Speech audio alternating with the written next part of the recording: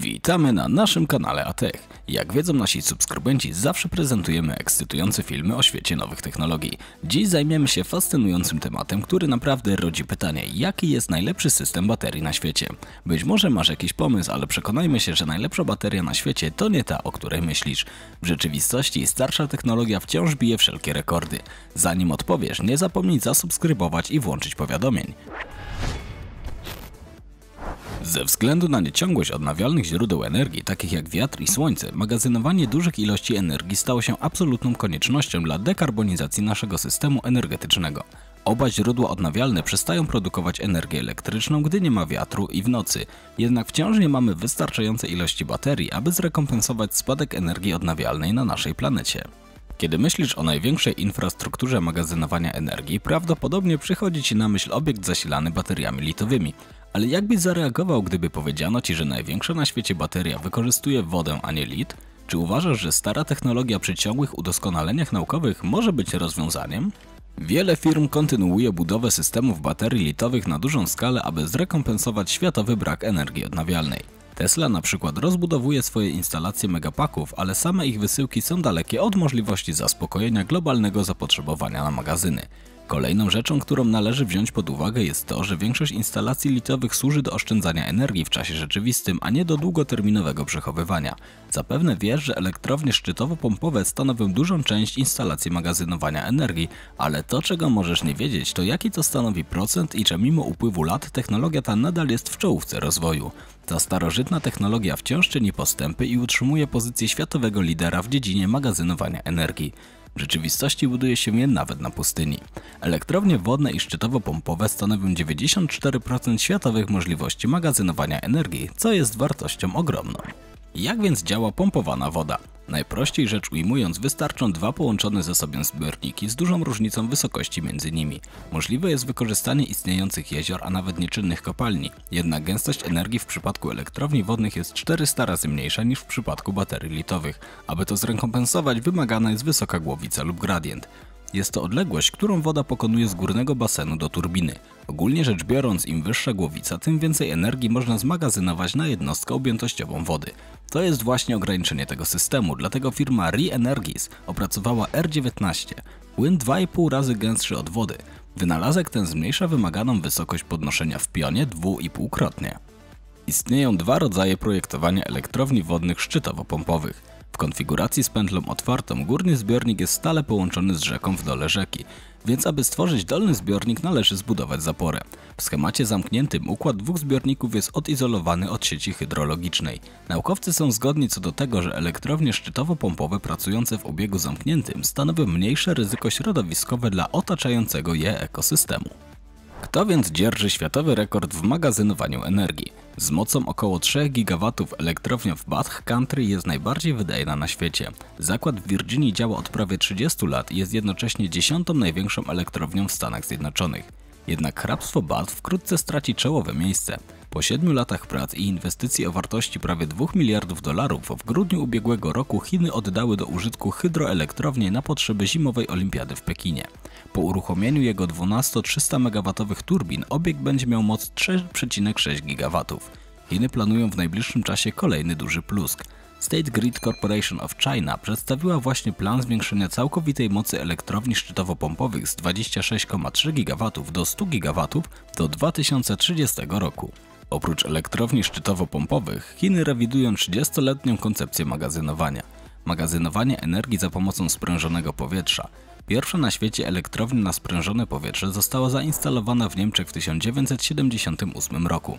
Energia elektryczna jest wytwarzana w taki sam sposób jak w przypadku elektrowni wodnych, z tym że do obracania turbiny zamiast wody wykorzystywane jest sprężone powietrze. Jeśli chodzi o magazynowanie, system wykorzystuje dodatkową energię z sieci do zasilania sprężarki, a następnie do przechowywania sprężonego powietrza w podziemnej komorze. Po latach optymalizacji projektu w 2016 roku chińscy naukowcy zaprezentowali zaawansowaną 10 MW instalację pilotażową na sprężone powietrze. Ponadto jest to proces bezpieczny. Sprężone powietrze pracuje przy średnim ciśnieniu, więc ryzyko wybuchu jest bardzo małe. Pocieszające jest to, że w ciągu ostatniego roku dwukrotnie stopiła się największa na świecie bateria litowo-jonowa. Chiny nie są osamotnione w magazynowaniu energii w powietrzu. Kanadyjska firma Hydrostor pilotuje w Ontario dwie elektrownie na sprężone powietrze o mocy do 500 MW.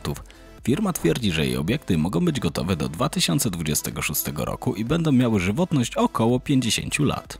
Jak więc działa rozwiązanie Hydrostor? Na etapie magazynowania wykorzystują nadmiar energii odnawialnej do zasilania sprężarki i wtłaczania powietrza pod ciśnieniem do wypełnionej wody kawerny. Dzięki temu system utrzymuje stałe ciśnienie podczas pracy. Kiedy nadchodzi czas dostarczania energii, wysyłają wodę do podziemnej komory, aby uwolnić powietrze, która miesza się ze zmagazynowanym ciepłem. Gorące powietrze napędza następnie turbinę, która wytwarza energię elektryczną. System rozładowania może trwać do 12 godzin, czyli znacznie dłużej niż w przypadku akumulatorów litowych, które zazwyczaj działają przez około 4 godziny. Pomimo szumu, największy system magazynowania energii z baterii litowo-jonowych może dostarczyć tylko około 300 MW, czyli 12 razy mniej niż może wyprodukować hydroelektrownia Fenging. Należy jednak pamiętać, że w ciągu ostatnich 10 lat cena baterii litowych spadła o 89%. Niedawne badanie wykazało, że koszt ich magazynowania będzie niższy niż koszt magazynowania w elektrowniach szczytowo-pompowych od 2030 roku. Nowa infrastruktura hydroelektryczna powstaje na całym świecie, nawet na pustyni. W lutym ubiegłego roku firma Airplus Hydro złożyła wniosek o budowę pierwszej w Nevadzie elektrowni szczytowo-pompowej. Hrabstwo White Pine spełnia wszystkie wymagania dla takiej instalacji. 610-metrowy wodospad, wystarczająco dużo miejsca, aby stworzyć dwa nowe duże zbiorniki i pobliskie źródło wody do ich napełniania. Po wykonaniu studium wykonalności spółka mogłaby rozpocząć budowę elektrowni wodnej w 2025 roku. Aby złagodzić przerwy w dostawach prądu w Kalifornii, Eagle Crest Energy rozwija bardziej zrównoważoną elektrownię o mocy 1,3 GW w Eagle Mountain. W tym przypadku zamiast kopać dwa nowe stawy, inwestor projektu wypełni dwie opuszczone kopalnie rudy żelaza, znajdujące się na różnych wysokościach na pustyni Mojave. Oprócz tego zakład będzie wykorzystywał nadmiar energii odnawialnej z pobliskiej farmy słonecznej o mocy 2 GW do pompowania wody z dolnej kopalni do górnej. Na pustyni arabskiej pojawiają się również elektrownie wodno-pompowe. W grudniu ubiegłego roku Dubai Electricity and Water Authority ukończył 35% budowy 250 MW elektrowni szczytowo-pompowej, której inwestycja wyniosła około 400 milionów dolarów. Inne duże elektrownie szczytowo-pompowe są również w trakcie budowy m.in. w Azji, Europie oraz Wielkiej Brytanii.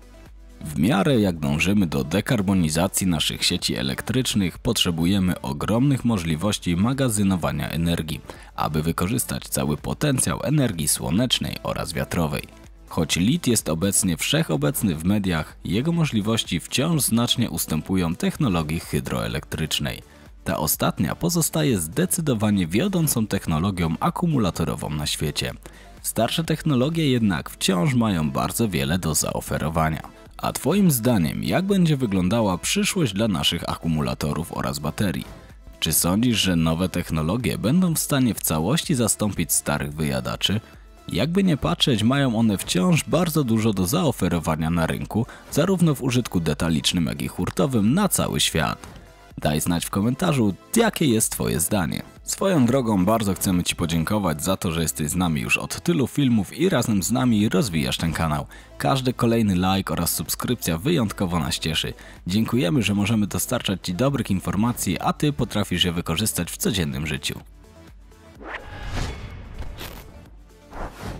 Jeśli podobał Ci się nasz temat dnia, zapraszamy do polubienia tego filmu. Aby cieszyć się większą ilością takich filmów jak ten, zasubskrybuj nasz kanał. Nie zapomnij włączyć dzwonka powiadomień, aby jako jeden z pierwszych zobaczyć nasz kolejny filmik. Do zobaczenia wkrótce na Atech.